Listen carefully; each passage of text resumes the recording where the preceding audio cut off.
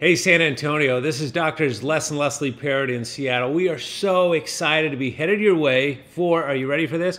Fight night. It's going to be a blast. It sure is. October 23rd at Cornerstone, and we can't wait to share a date night together. Yeah, now you. you're probably thinking conflict, you know, fight night. Who wants to get together and talk about that? This is really fun. It's not your mother's marriage seminar, I guarantee you that.